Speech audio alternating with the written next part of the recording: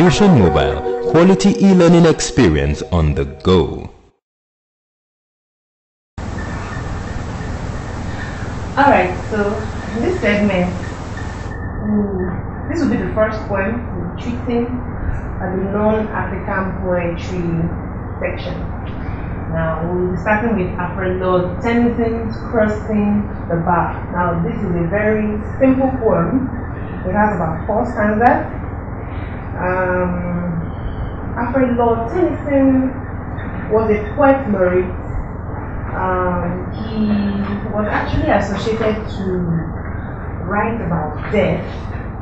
Um, in this poem, he portrays death as something that is not to be afraid of he actually says that crossing the bar, that is, is going to the other side to meet the Creator.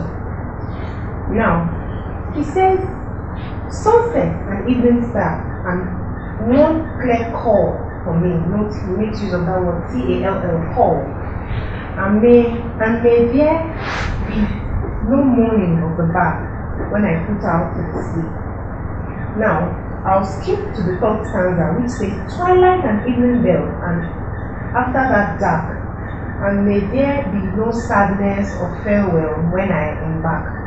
Now, the idea that Tennyson portrays here is that no one should cry for him when he dies, because death is an experience that will make him transcend to the heavenlies, to meet his creator. Death is not something to be afraid of.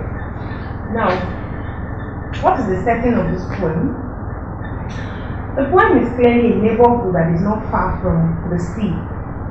The setting, the time is the evening during the hours of dusk, when the sun is receding. The subject matter of the poem is a meditation of death. It begins with the reflection of the poet. He's saying, he describes as he describes death as a clear call for him. Metaphorically speaking, the journey is actually death. He says he's going on a journey which is death, and which he portrays as crossing the bar, transcending from the human experience to the celestial heavenly bodies. Now we look at a stanza by stanza analysis. Stanza 1 the stanza begins by drawing attention to the temporal setting of the poem, the poet's moment of awareness. He is aware of the inevitable journey. Now, death is something that we cannot avoid. Like we always hear some people say that everybody wants to go to heaven, but nobody wants to die. Now, this is a process that one must face. Now, he talks about the sunset and the evening star which is a reminder for the speaker that it is time for the journey. In stanza 2, he continues and reemphasizes the poet's personal wish for a clement weather. Says that he's looking forward to a time that moves as if it were asleep. Um, the second stanza presents the poet's wish for a favorable condition of the voyage. Now he is also trying to express that he wants his passing to be a peaceful uh, uh, uh, uh, transition without hazards. Now he's saying the last line denotes the destination of the moving ship. The poet affirms that the voyage is a homeward one, only that this time is extraterrestrial in nature. Stanza 3. This line begins with twilight and evening bell. Darkness is equated with the poet's departure since darkness will render him invisible. Now, this line highlights the fact that death is a transition from one realm of living to another. He is saying that even when he dies, he is not dead, but he has transcended or he has been translated to another place of eternal rest. Lines 13 to 16, which is the final stanza. The first journey is such a time that is, is, is such that time and space cannot limit it. However, it is still worthwhile because it will afford him to see his pilot face to face. Now, his pilot here is metaphorical reference to God. It says, When I have crossed the bar, it relates the certainty of the poet approaching of death. Now, he is not afraid of death, rather, he faces this phase with courage, hope, and certainty. Now, what are the things? Of course, the first thing we look at is death. The poet is not afraid of death. He is about to take this journey. He is willing, he has surrendered himself to death because he has a goal to meet his maker, whom he calls his pilot. Now, secondly, there is a theme of hope in this poem.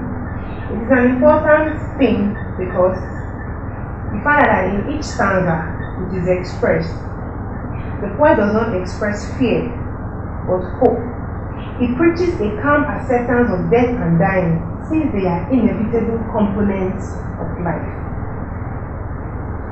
Now, these are the two major things in this poem. If you look at the structure, the poem comprises 16 lines divided into four stanzas. Now, each stanza comments on the poet's personal wishes now the rhyming scheme is A B A B C D C D E F E F G A G A. Now we'll look at the language and style poetic devices. The poet makes use of metaphors. There are some metaphors which explain the time and season at which this poem occurs.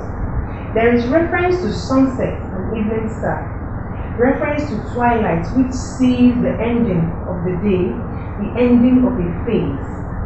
It talks about sadness of farewell, born of time and space. He makes reference to my pilot. My pilot is a direct comparison, a direct reference to God. The idea of flood carrying the poet far away is also metaphorical of death.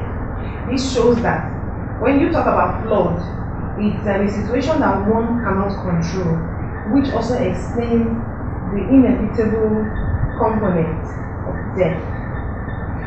Symbolism. References to evening, twilight are symbolic of the poet's old age as well as imminent death. The dark referred to in line 10 is symbolic of death. The bar that the person is looking forward to crossing is symbolic of what divides life and death. There is a clear chasm between life and death. The poet makes use of personification. He says that for such a tide as moving seems asleep. Now it is the tide, T-I-D-E, is portrayed as something that is living, that is asleep. But the poet makes use of alliteration in line 2 and one clear call for me, K alliterates. Too full for sound and form, F alliterates. Sunset and evening star, sunset, star, S alliterates. The poet makes use of repetition. Makes use of when, when, when, always referring to time. And may, they, and may there be no in lines 3 and 11 is an anaphoric repetition which is used to underscore the poet's wish for a quiet death as well as a despiteful lamentation or open grief of death. The poet does not want anyone to lament or wail over his death because it is something that he has clearly embraced. Now, the question says here, discuss the theme of death in Lord Crossing the bar. Also, discuss the poet's attitude to death in the poem Crossing the Bar. Now, these questions and others will also be displayed on your screen to determine how much that you have studied in this course. Thank you.